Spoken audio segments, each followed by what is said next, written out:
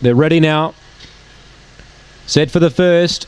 Racing, missed at Caustic Bale again. Good speed the inside, El Bale. Favourites about fifth, but it's found the rail. El Bale, the leader out of the straight here, tackled by Blue Light Banjo. Third, the outside wheel spinner, a length away. Caustic Bale getting into the clear. Here he comes. He's charging now, the fave. Behind those, Kaz Khan. Wide out was uh, Dodger I Am. And last is Foot Rot Fantasia. Caustic Bale letting loose. Runs up, takes the lead, turning for home. Gets the better of Blue Light Banjo. Wheel spinner runs on with Dodger I Am, but Caustic Bale, he's too good tonight wins by five. Seconds a photo.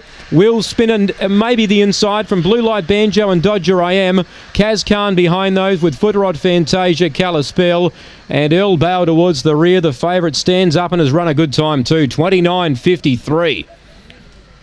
Caustic Bale. Caustic Bale, $1.90, absolutely crunched in late, 235 on the fix prior to the race. And once he got some clear room, it was all over in a twinkling of an eye. Number four, three second wheels spinner. Seven third Dodger I Am and two fourth Blue Light Banjo. Four, three, seven, and two.